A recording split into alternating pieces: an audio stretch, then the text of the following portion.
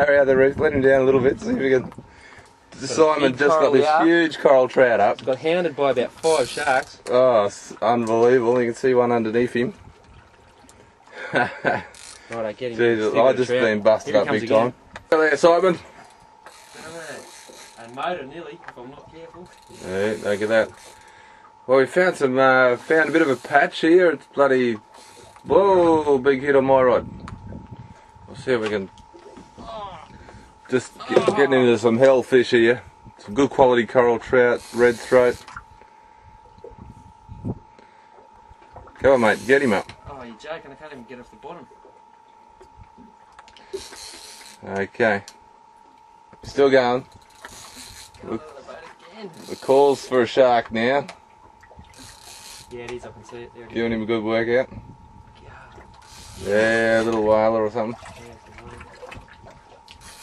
Oh, it's a motor. All yours, mate. Reef shark? Nah, a little bronzy. God, good luck getting me hook back. Gaffing for me, mate. I got your hook back last night.